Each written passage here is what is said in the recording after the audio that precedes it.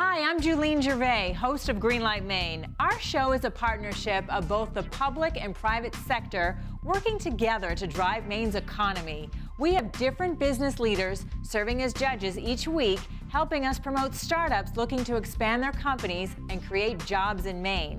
Find out who will make it to the finals and compete for the $100,000 prize to invest in their company. Join us Sunday mornings at 10 on News Center Maine.